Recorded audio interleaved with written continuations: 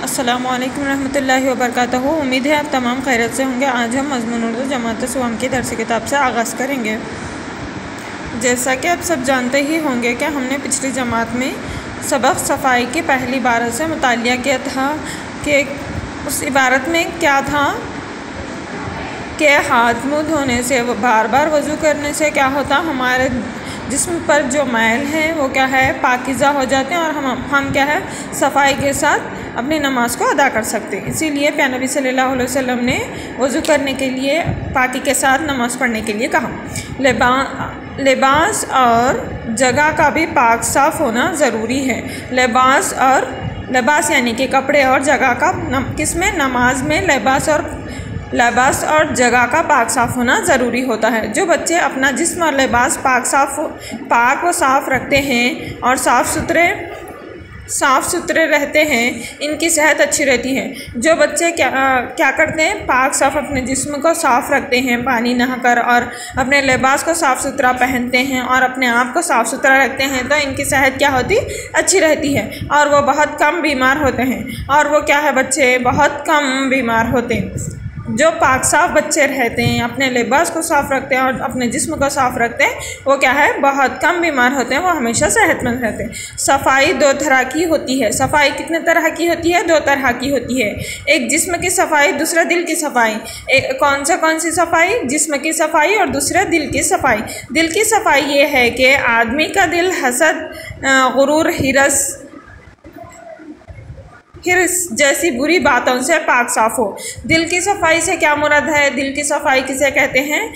दिल की सफ़ाई से मुराद है, यानी दिल की सफ़ाई का मतलब है, आदमी का दिल क्या है? ना कि जलन, बल्कि जलन हसद, यानी जलन, गुरूर, हिरस जैसी बुरी आदतों से पाक हो।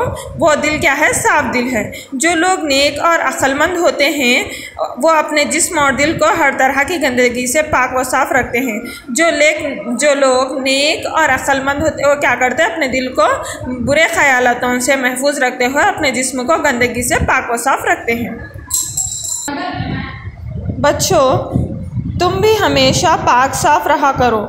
बच्चों, तुम भी हमेशा क्या है? पाक साफ़ रहा करो, यानी अपनी सेहत का अपने जिस्म को पाक साफ़ रखा करो, अपने दिल को पाक साफ़ रखा करो। रोज़ाना सुबह हाथ मुँह धो लिया करो। रोज़ाना सुबह क्या करना चाहिए हमें? हाथ मुँह धो लिया करने, कर रहे और मिसवाक भी किया करें। और मिसवाक यानी कि मिस जिससे हमें, क्या है, हमारे इस्लाम में भी कहा गया है कि मिसवाक करने से क़यामत के दिन हमें जब हम मरते वक्त क्या है, कल में शहादत नसीब होता है, इसीलिए हमें मिसवाक भी करना चाहिए, जिससे हमारे दांतों की सफ़ाई हो सकती है इससे मुँह की गंदगी दूर हो जाती है। मिसवाक करने से मुँह की गंदगी दूर हो जाती है और दांतों की बीमारी पैदा होने नहीं पाते।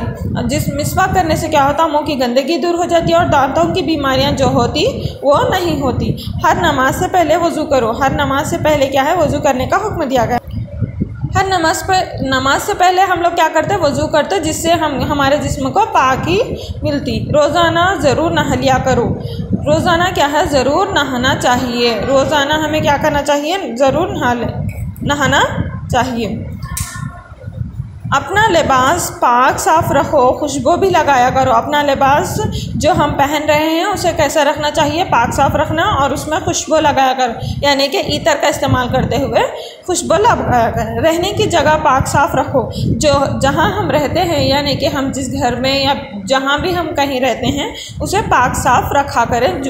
हमेशा अपने दिल को बुरे ख्याल से पाक रखो। हमेशा अपने दिलों को क्या है? बुरे ख्याल से पाक रखना, जिससे हमारे भी, जिससे क्या होता, हमारे दिल को सुकून मिलता और हमारी गंदे, हमारे पास मौजूद जो गंदगी है, यानी कि जिस्म की गंदगी हो या दिल के बुरे ख्याल वो तमाम क्या है, दूर हो जाते, जिससे हमें बीमारियाँ कम आती।